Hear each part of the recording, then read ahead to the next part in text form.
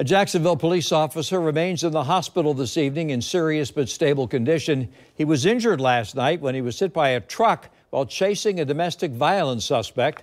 The officer's name has not been made public. We just received this surveillance video. You can see just past the cars, the officer is running after the man.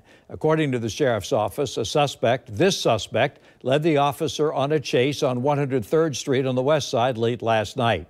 The wanted man, 27 year old Eric Smith, was arrested and appeared before a judge this afternoon. News4JAX reporter Corley Peel tells us about his criminal history. Police blocked off this entire area of 103rd Street for hours after the officer was hit by a truck while chasing Eric Smith. He was suspected of strangling someone, but was currently out on bond for a different violent crime.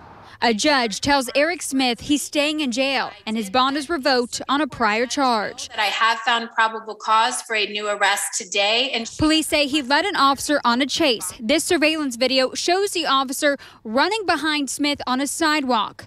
Investigators say the chase ended with a truck hitting the officer on 103rd Street.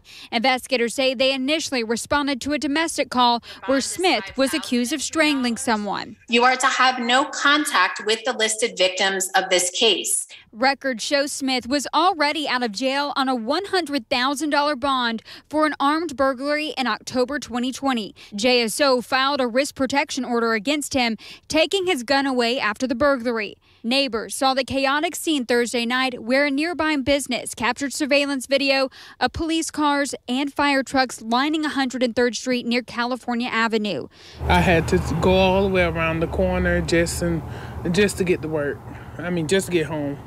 It was very hectic. It was a lot. I didn't know what was going on. I hope everybody's okay. The officer was seriously hurt with several injuries to his lower body, according to police. Smith is now in Duval County Jail without bond. The driver of the truck did stay at the scene, according to JSO. Records show that Smith faces several charges now, including domestic battery and resisting a police officer. Reporting from the west side, Corley Peel, Channel 4, the local station.